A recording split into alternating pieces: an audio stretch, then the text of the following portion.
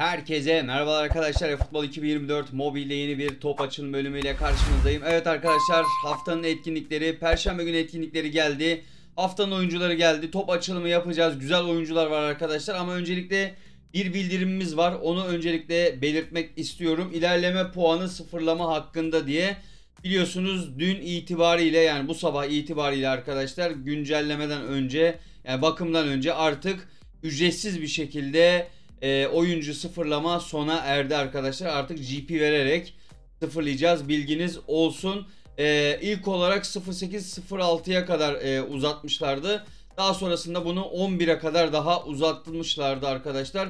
E, Baya bir zamandır ücretsiz bir şekilde sıfırlıyorduk. E, ücretsiz dönem sona erdikten sonra oyuncu ilerlemesi sıfırlamak için artık GP harcamamız gelecek.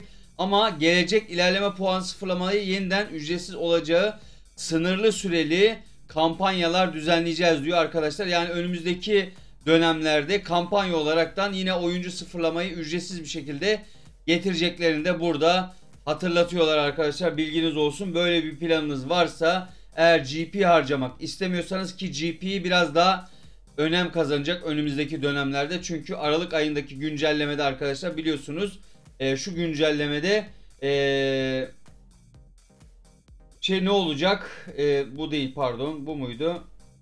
Nerede? Aynen GP ile artık sözleşme yenileme gelecek. GP biraz daha önem kazanmış oldu arkadaşlar. Bilginiz olsun. Ee, burada ne diyor? Rüya takımının antrenmanı. Rüya takımıyla artık antrenman modu oynanabilecek. Zorluk düzeyi ayarlamaları Efsane meşhur. Tamam bunlar da gelmiş. Tamam. Geri geldik. Şimdi top açılımımıza geçeceğiz ama arkadaşlar tabii ki pazartesi günü bizi hangi epikler bekliyor? Onun üzerine de hemen bir eee, şey yapalım istişare edelim sizlerle birlikte. Şöyle ekranımızı değiştirdiğimizde İtalyan Ligi, Ligi e, League Selection Midfields diyor arkadaşlar. Yani orta saha oyuncuları geleceğinden bahsediyor. Hemen orta saha oyuncularını şöyle arattığımız zaman oyuncu veri tabanından arkadaşlar İtalya Ligi orta saha oyuncuları defansif orta saha, ofansif orta sahayı seçtiğimizde karşımıza Pirlo, Gullit ve Serginho çıkıyor arkadaşlar. Şöyle gösterelim. Pirlo'nun bu kartı. Şöyle baktığımız zaman şöyle 35 seviye verdiğimiz zaman ne oluyor? Şöyle bir bakalım. 98 oluyor. 35 seviye değil de 31 seviye ama en azından ee, gördüğünüz gibi Pirlo bu şekilde gelecek. Ee, Gullit var. Yine Gullit'i de şöyle 35 seviye yaptığımızda veya 31 seviye yapalım. Şöyle Gullit de bu şekilde geliyormuş. 102 olacaktır muhtemelen. Gullit'in özellikleri de bu şekilde. Bir de Serginho'ya bakalım. Bir de Serginho gelecek muhtemelen. Yine tam orta saha olaraktan. 31 seviyeyi verdiğimizde Serginho da bu şekilde oluyormuş. Daha çok hücuma yönelik bir oyuncuya benziyor. Yani sol bekte de oynayabiliyormuş zaten. Sol bekte herhalde daha fazla iş yapar diye düşünüyorum. Sol kanatta özellikle. Serginho özellikleri gayet güzel duruyor. Top kontrol sürmesi, yüksekten pası falan gayet iyi. Muhtemelen dediğim gibi arkadaşlar Serginho, e, Pirlo, Gullit üçlüsü gelecek diye düşünüyorum. Sizler de fikirlerinizi yorumlara yazmayı unutmayın arkadaşlar. Haydi bakalım top açılımıza geçelim. Öncelikle buradaki ücretsiz topumuzu bir açalım. Şimdi bir tane ücretsiz topumuzu elde ettik arkadaşlar. Bana geçtiğimiz haftalarda bu oyuncuyu nereden aldın diye soruyordunuz arkadaşlar. Hemen onu da dipnot olarak ekleyelim şöyle. E, haftanın oyuncularından bir tane ücretsiz topumuz var. Bunu bir maç yaparak yani hatta iki maç yaparaktan alabiliyorsunuz arkadaşlar. Onu da şu bölümden alıyorsunuz. Hemen şöyle gelelim ücretsiz topumuzu. E, maç bölümüne giriyorsunuz. Etkinliklere giriyorsunuz. Etkinliklerde şu YZ'ye karşı Brezilya Ligi maç bölümüne giriyorsunuz arkadaşlar. Ben bunu iki maçta tamamladım. Ee, efsane modunda e, bonus 4 olarak ayarladım. Şöyle gördüğünüz gibi arkadaşlar. Burada toplamda 3000 puana ulaştığınızda şöyle göstereyim. 3000 puana ulaştığınızda bakın bir tane ücretsiz top alıyorsunuz. Ben kadromu şu şekilde ayarlamıştım. Gördüğünüz gibi yedeklere Brezilyalı Brezilya liginden oyuncular koydum. e, Felipe Mel- Melo'yu koydum. Bir de beklere koydum. Diğer oyuncuları standart yaptım. 4 puan aldı. E, 4 e, şey puanı vermiş oldu. E, bonus puanı vermiş oldu arkadaşlar.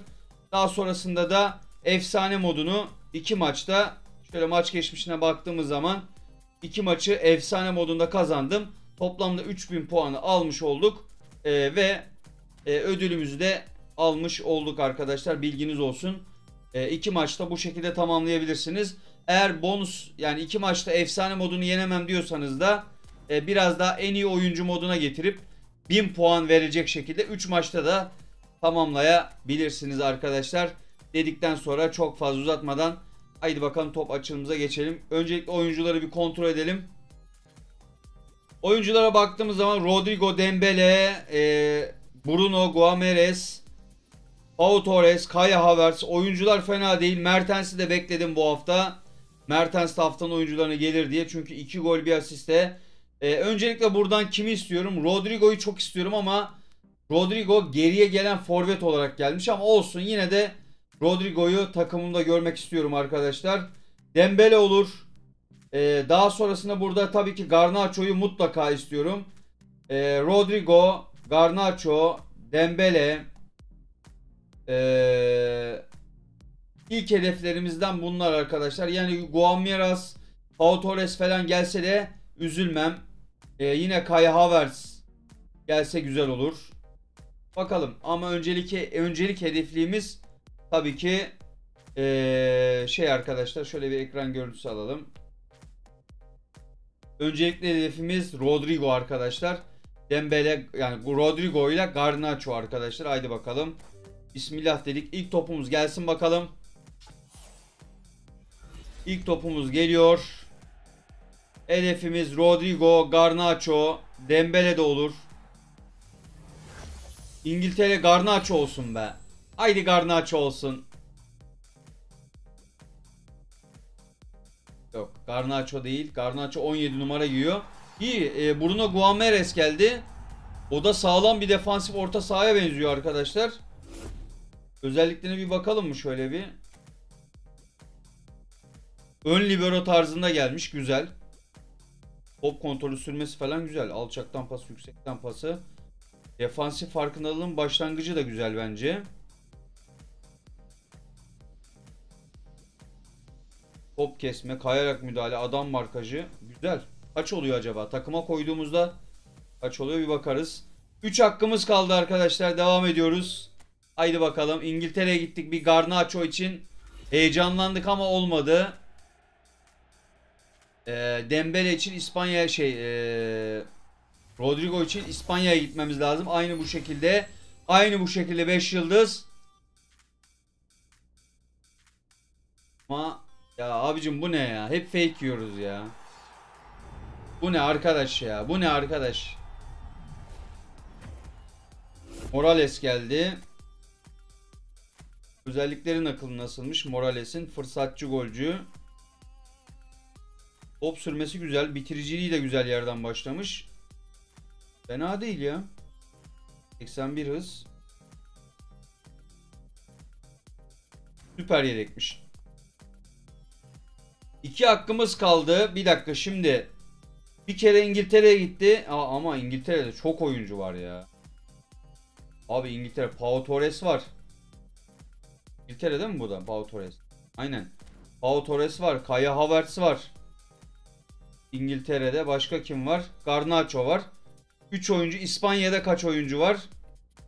İspanya'da tek bir oyuncu kalmış. Aynen. İta Bunların hepsi İtalya. Fransa. iki tane Fransa var. Bir tane İspanya var. Eğer İspanya'ya gidersek arkadaşlar Rodrigo geliyor demektir. Ama İngiltere'ye giderse 3 seçeneğimiz var. Haydi bakalım bastık tekrardan. İspanya'ya giderse %100 Rodrigo geliyor demektir arkadaşlar. Fransa'dan iki şansımız var. Fransa'dan ya Dembele geliyor ya bir tane daha oyuncu vardı. Dembele geliyor. Tamam güzel. Dembele'yi bulduk. Güzel. Dembele'yi bulduk. Tekten pası kaçtı Dembele'nin. Her iki kanatta da oynayabiliyor. Top sürmesi yüksekten pası 80'den başlıyor. Hız hızlanma güzel. Yerine orta var güzel. Ee, zayıf ayak kullanımı da çok iyi Dembele'nin. Her iki kanadı da kullanabiliyor. Son hakkımız yani Rodrigo mu Garnacho mu? Ya ikisinden birisini ver bize be. Garnacho'yu verecek gibi sanki hissediyorum ya. Sanki Garnacho hissediyorum ama dur bakalım. Bulabilecek miyiz? Son hakkımız.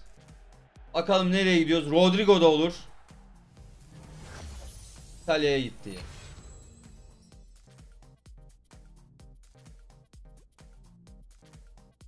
Kantreva geldi sanırım. Aynen Kantreva geldi.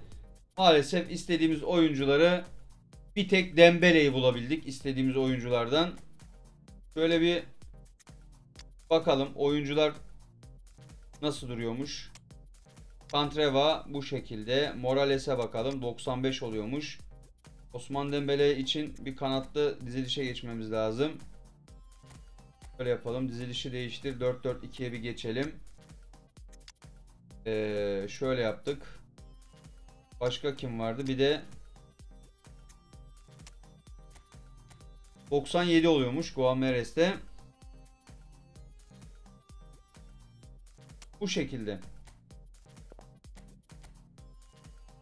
Evet bulduğumuz oyuncular kadroda bu şekilde duruyor arkadaşlar. Dembele'nin özellikleri ne olmuş oldu? 96 top sürme oldu. 82 yüksekten pas. 96-94 hız hızlanma. Güzel. Van Meres'in ön libero'ya bir bakalım. Alçaktan pası, yüksekten pası gayet güzel. Top kontrolü, top sürmesi. Defansif farkındalığı da bence güzel yerden başlıyor. Evet, videomu burada noktalandırıyorum arkadaşlar.